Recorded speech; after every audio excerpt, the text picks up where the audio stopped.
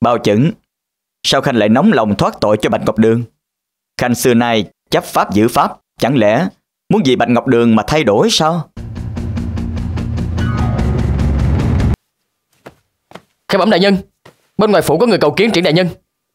Người đó lại, cẩm mau thử Bạch Ngọc Đường.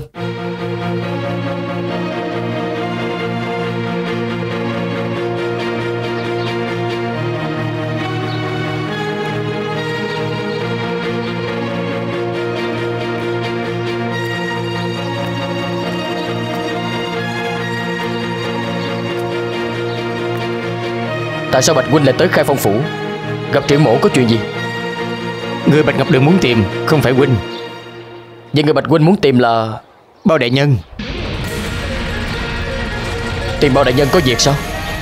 Bạch Mộ đến đây là để tự thú với bao đại nhân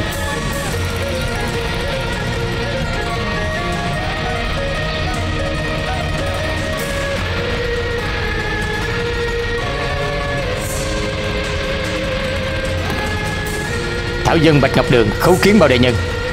Ngươi đừng lên nói chuyện. Tạ bao đại nhân.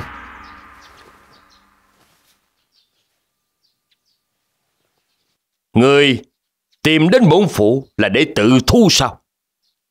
Bạch Ngọc Đường đột nhập cung cấm lấy cấp ngọc bội. Xin bao đại nhân trị tội theo luật. Đại nhân Bạch Ngọc Đường chủ động hoàn trả ngọc bội Mong đại nhân minh giám Triển Diêu, Ngươi không cần nói tốt cho ta. Tuy đã hoàn trả ngập bội, Nhưng trách nhiệm vẫn phải truy cứu. Nếu không bao đại nhân, khó mà giao phó với hoàng thượng. Bổn phủ phải giao phó với hoàng thượng thế nào? Không cần ngươi bận tâm. Hãy để bổn phủ hỏi ngươi.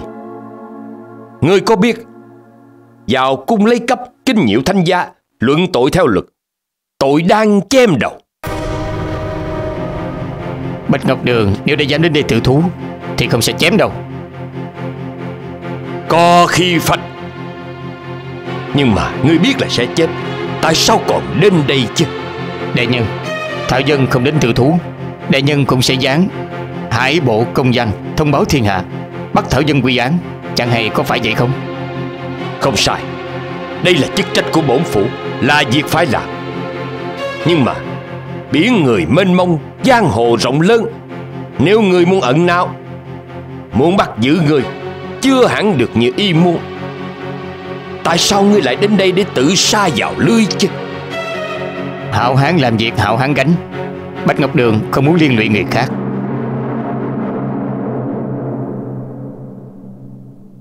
Có phải là Ngươi không muốn liên lụy huynh đệ kết nghĩa ở hãm không đảo?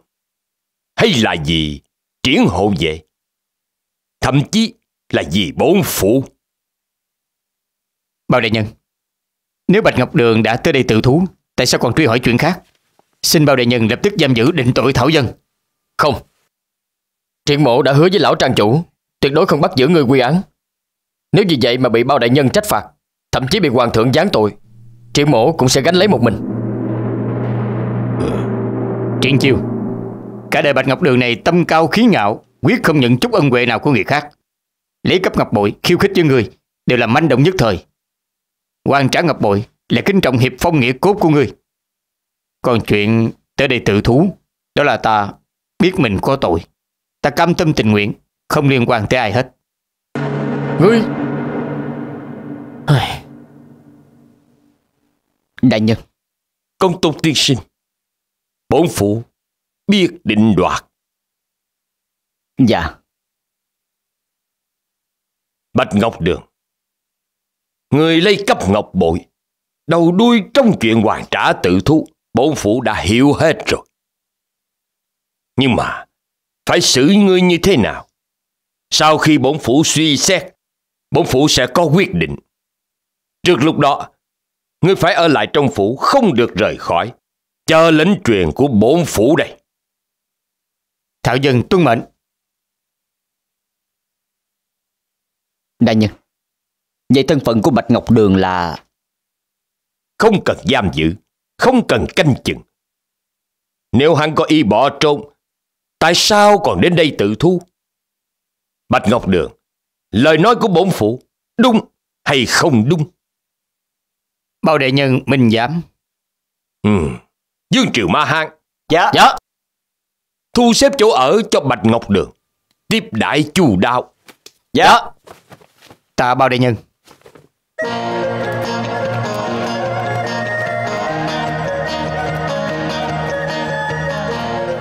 Đại nhân định xử trí thế nào? Bạch Ngọc Đường kia tuy hành sự khó hiểu, nhưng tấm lòng hiệp nghĩa của hắn không thể xem hắn như tội phạm bình thường. Bổn phủ lập tức vào cung diện thánh, cầu xin thánh thượng có thể khai ân đặc xá. Tạ đại nhân triển hồ về đừng vội cảm tạ bổn phủ bổn phủ sẽ làm hết sức mình chỉ sợ chưa hẳn là hoàng thượng đồng ý Không được. Bạch Ngọc Đường đột nhập cung cấm, thật ra là coi thường trẫm. Lý nào trẫm lại miễn xá cho hắn ta chứ? Hồi hoàng thượng Thật ra Bạch Ngọc Đường là nhằm vào triển hậu vệ Không phải có ý bất kính với hoàng thượng Hắn bất mãn với triển chiêu thì có thể đột nhập cung cấm của trẫm sao? Hơn nữa còn lấy cấp vật trân trọng nhất của trẫm. Ngọc Bội đã được Bạch Ngọc Đường chủ động hoàn trả Giá lại không tổn hại gì Vậy thì sao chứ? Nếu như Bạch Ngọc Đường chủ động đến đây tự thú Hoàng thượng có thể khai ân đặc xa không? Cho dù hắn chủ động tự thú cũng vô dụng, nếu không, không phải không còn quốc pháp rồi sao? Hoàng thượng Quốc pháp không ngoài tình người Dĩ tình độ pháp Dùng pháp trị quốc Đây mới là chân đế của quốc pháp Thần khẩn thỉnh hoàng thượng Pháp ngoại khai ân Bao chẩn, sao Khanh lại nóng lòng thoát tội cho Bạch Ngọc Đường? Khanh xưa nay chấp pháp giữ pháp, chẳng lẽ muốn vì Bạch Ngọc Đường mà thay đổi sao?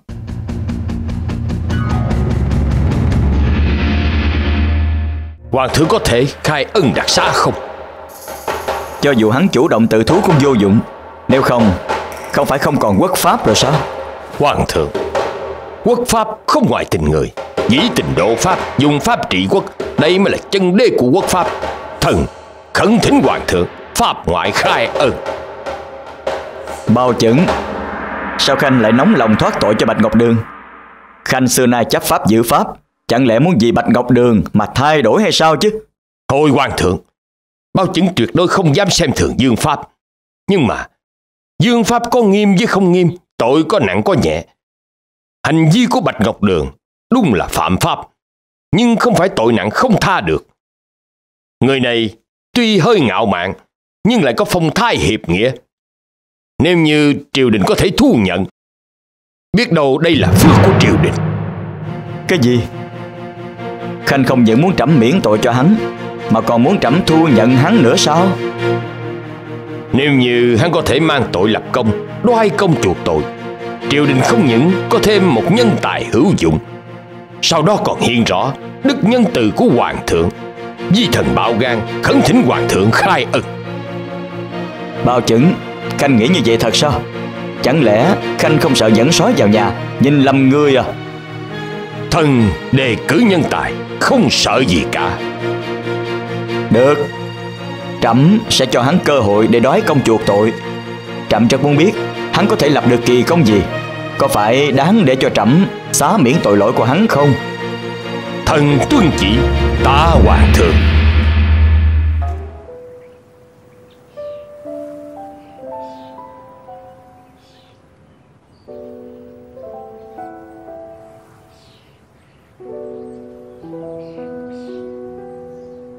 Tại sao Bạch Huynh lại tới khai phong phủ? Bạch mổ không thể không đến. Nếu không, không bao giờ yên tâm. Ta đã nói ta sẽ gánh hết tội mà. Triển chiêu. Trong chuyện thi võ so tài ta đã chịu thua. Nhưng không phải có ý Ta đồng ý để người bảo vệ. Ta hiểu rồi. Nhưng mà Ta không thể hiểu. Tại sao ngươi lại cam tâm từ bỏ ngày tháng phiêu bạc giang hồ Chuyện ân thù trước đây Trái lại còn đến, trốn quan phủ người trên giang hồ không thích khiêu khích. Bản thân ta cũng đã từng hỏi bản thân rất nhiều lần. Kết quả thế nào? À Nếu không phải là bao đại nhân, Ta sẽ không nhận chức quan này. Bao đại nhân, Có như tin đồn trong dân gian Là vị quan Thanh Liêm thiết diện vô tư không? Không sai quan Thanh Liêm như bao đại nhân Đúng là hiếm có. Nếu ta không giúp ông ấy Trên đời này bá tánh chịu quan ức E rằng không có ngày được rửa quan tình.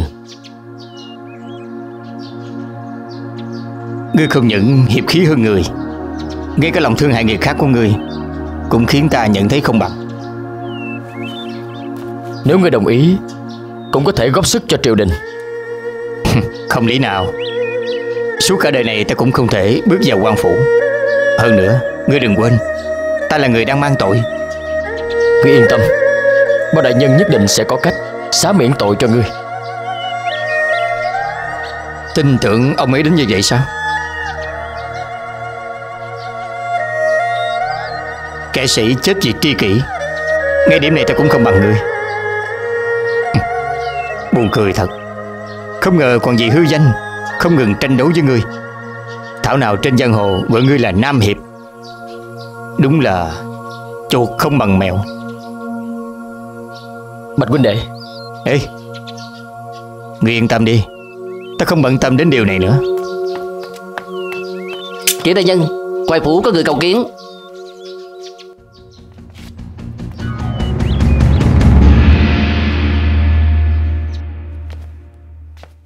Đại nhân Hoàng thượng đã hứa Để Bạch Ngọc Đường đoái công chuộc tội sao Không sai. ừ, Đại nhân định Để hắn lập công gì Hoàng thượng phải nhìn nhận mới được. Nhất định công đó phải đúng là đại công mới được. Bổn phủ mời công tôn tiên sinh đến đây chính là vì chuyện này. À. Nhưng ờ, Bạch Ngọc Đường Không có chức quan Hiện giờ lại không có vụ án trọng đại nào. Ờ Có rồi. Thế nào? Hiện giờ đúng là có một vụ án lớn. Vụ án của Thái Phi Nương Nương. Nhưng vụ án này không tiện cho người ngoài xen vào. Không sai. Vụ này đúng là không tiện Để Bạch Ngọc Đường xen vào. Nhưng mà Vụ này lại có một nhân chứng quan trọng Đang trên đường hồi kinh. Trần Lâm. Đúng vậy. Nếu như Trương Long Triệu Hộ Trên đường đón Trần Tổng quản hồi kinh Xảy ra chuyện gì? Không phải vụ án này sẽ không có ngài phá được sao? Công tôn tiên sinh muốn nói Lệnh cho Bạch Ngọc Đường đi tiếp ưng Dạ Đại nhân. Nếu như trong chuyện nhìn nhận của mẫu thân sau này Bạch Ngọc Đường đã làm hết sức. Cũng được xem là công lao. Ừ. Công tôn tiên sinh nói rất đúng. Mã Hàng Dạ. Mời Bạch Ngọc Đường đến đại sảnh nói chuyện. Dạ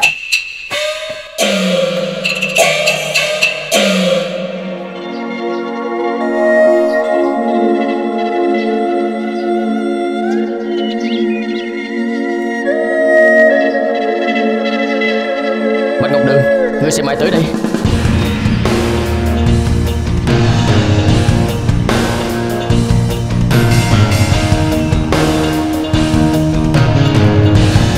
Vũ đệ Vũ đệ Vũ đệ Là các huynh Các huynh tới đây làm gì? Lão ngủ. Để vậy là sao chứ? Không nói tiếng nào hết Để lại lá thư rồi bỏ đi luôn à. Đúng rồi Đệ muốn đi cũng phải thương lượng với bọn ta chứ. Ngũ đệ à? Để làm cho bọn ta lo lắng lắm đó Đệ ca. Trong thư của tiểu đệ Không phải đã nói rõ ràng lắm sao? Bọn huynh cũng biết Không khuyên được đệ Nếu đã như vậy Mấy vị ca ca Tại sao còn tới đây? Rất đơn giản. Nếu đệ đã quyết định đến đây tự thú Bọn huynh cũng sẽ đến đây với đệ. Đệ ca. Nếu đệ bị chém đầu á Bọn huynh cũng sẽ đầu lìa khỏi cổ chung với đệ luôn. Hậu sự bọn huynh đã căn dặn xong rồi. Các huynh Xin năm vị yên tâm. Bao đại nhân sẽ có quyết định hợp lý. Xin mọi người chờ kết quả. Trí đại nhân Đại nhân mời Bạch Ngọc Đường đến đại sảnh nói chuyện. Nếu năm vị đã tới đây rồi Hãy cùng tới gặp bao đại nhân đi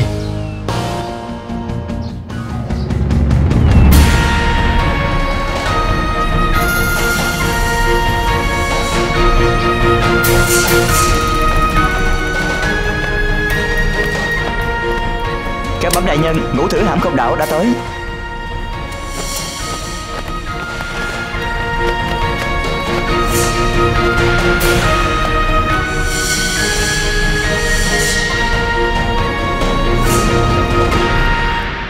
Cầu kiến bao đại nhân?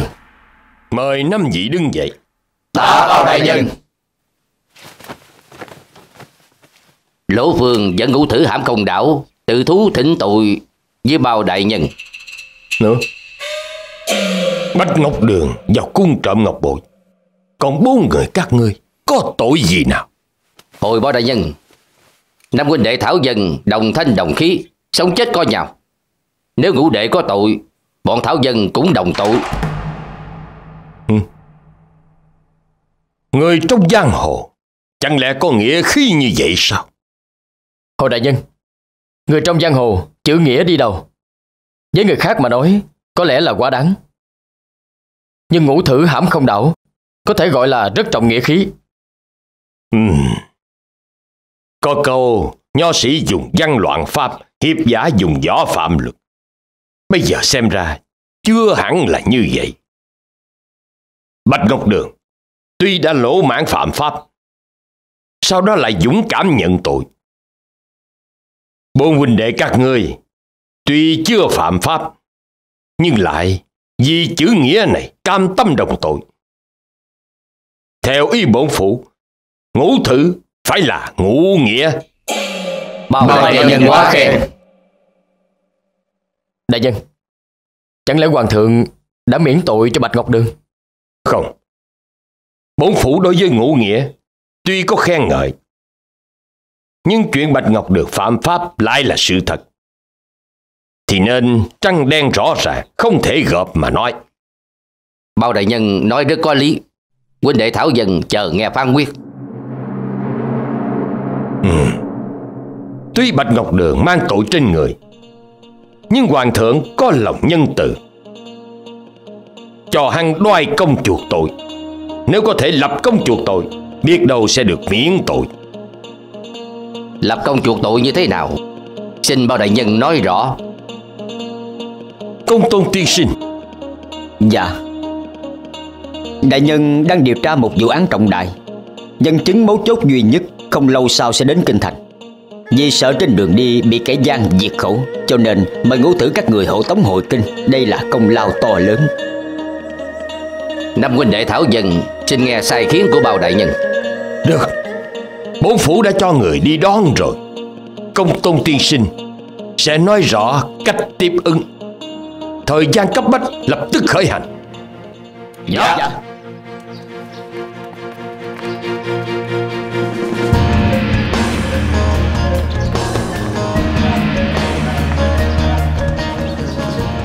Các vị Thương lộ bình an. Triệu đại hiệp ơn nghĩa giúp đỡ Cũ thử không bao giờ quên. Không dám. Xin mời